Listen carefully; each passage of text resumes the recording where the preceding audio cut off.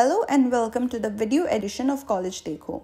Many students have a question about the XAT score and the percentile. Well, XAT percentile is slightly different from other percentiles. Before proceeding, let's know some facts about XAT 2022. Highlights of XAT 2022. XAT 2022 was held on January 2, 2022. It is an entrance test for admission to the leading MBA institutes in India. Candidates can check their score and predict their percentile and match with the cutoffs to know the eligibility. Candidates must apply to their desired colleges for MBA courses before the deadline. There were a total of 100 questions divided into sections. All questions were MCQ and carried equal marks. XAT 2022 score versus percentile analysis. Candidates who wish to estimate their percentile need to first download their scorecard. They can download their scorecards from the official website. For example, if a candidate scores 35 in XAT 2022, it can be estimated as 95 percentile. Similarly, if a candidate scores 32 in XAT 2022, the percentile would be an estimation of 93 percentile.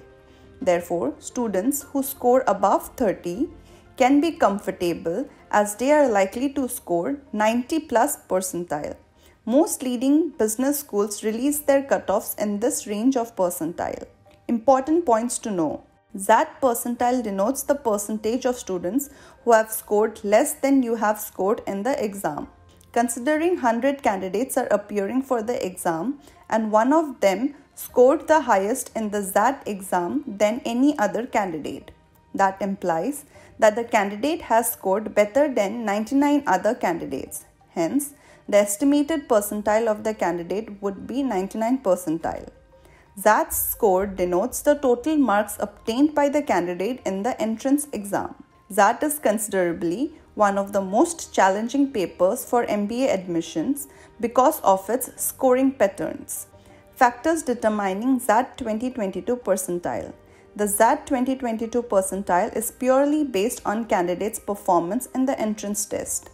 The percentile of XAT is determined by considering the following factors section wise difficulty level, number of the test takers, previous year's XAT percentile, XAT scores normalization.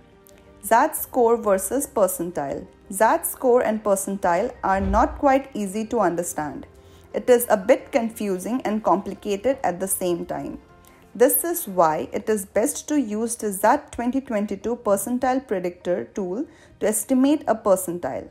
Candidates must remember that the GK questions of the XAT 2022 exam will not be calculated for the XAT percentile.